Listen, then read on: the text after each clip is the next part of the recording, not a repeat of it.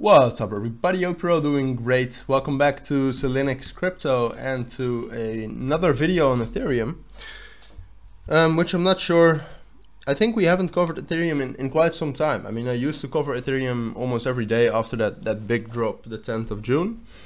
Um, now the last three days, I, I, think I didn't cover it, or, or the last, yeah, last three days, including today. So, so the, for like yesterday and the day before yesterday. I didn't cover it the day before that. I think I did cover it. But doesn't matter. I wanted to update it again today because uh, we got quite a big drop. Ethereum definitely a drop down uh, two two and a half percent more than Bitcoin. Um, pretty harsh but Ethereum has been treated uh, or, or, Ethereum has suffered quite a bit more than Bitcoin over the last weeks. And, and over the last week it's actually still more bullish um, than Bitcoin, but before that it, it, suffered a lot, and I think you all know that. So um, let's get into it. So, so what you can see on a four-hour time frame, and, and, we might actually switch to the to the one-hour time frame, but I'm not sure. Um, but what you can see on the four-hour time frame, it's it's pretty clear, right? We just found resistance at that 50 EMA and started dropping again. Before that, we had a small bullish flag, which we might be able to see a little bit better on the one-hour time frame here.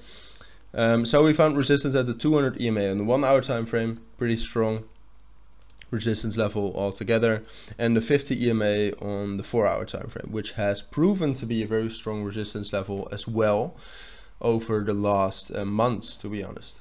Um, in, in, in this whole bear market, that 50 EMA, that, that red line has been pretty strong. So what I expect now is now that we've dropped down below $1,100, is that I expect us to drop down to 1,000 within the next days. Now we are at uh, 1080. I think we'll take a break retest of that level between 1090 and, and like 1110. So right there, and then from there start to drop down. We might actually still find some support at 1050, but then just later on start to drop down to uh, 1000 to uh, 1020 and, and 1000. And there it actually gets more interesting because I think that there's basically two things that can happen we can either get a strong touch, or I think we'll get a strong touch off of a thousand. Um, but then, I mean, the, the best thing that could happen is that we actually hold 1000 for the next three days.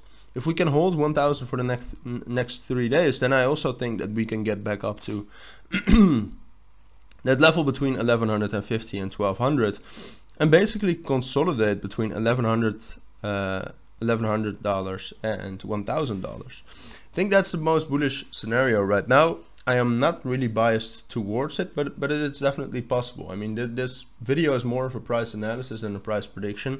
Um, just because I don't have a very clear bias on Ethereum yet. So I'm sorry for that, but um, I have to be honest with you and I'm not going to have a bias on something I don't believe in. So it's basically that. I think we'll drop down to 1000. Um, and we'll either find support on top of that, like strong support for the next few days. Then I think it could hold as a consolidation for a longer period of time, at least for the next week. But if we now drop down to 1000 and we just get a very small support touch off of it and we stay around that level, then I think it's more likely that we'll drop down to 900. And then at that 900, kind of try try the same thing again. So see if we can actually consolidate on top of it. If we, again, don't find any support on top of it, we'll probably drop down to 750, right? We're still in the bear market. Uh, that's very realistic that that could happen. So from now, that would obviously be a very harsh drop. It would be like 30% down. So that would, wouldn't be in, in yeah, 30%. So that wouldn't be in one, um, in, in like a few days. But um, something like that could definitely happen within a week. Um, and we've all seen that. We've all been, been here and this was um, this was from yeah like this was in a week. We, from in a week we went down from 1800 to um, to like 1100 and a thousand a little bit later. So that was a 44% loss right? So it's definitely possible. Um, but for now it really depends on how we, we react at that 1000 level. If we don't really react at that level it, it depends on how we, we react at 900 and I think that the chances of dropping down to 750 within the next week are relatively low. But I just wanted to prepare you for that, that, that it is possible. So um, yeah, that's basically my analysis on Ethereum for now. If you found it valuable, please consider liking and subscribing. Uh, but for now, thank you all for watching and listening, and I hope to see you all in my next videos. Bye.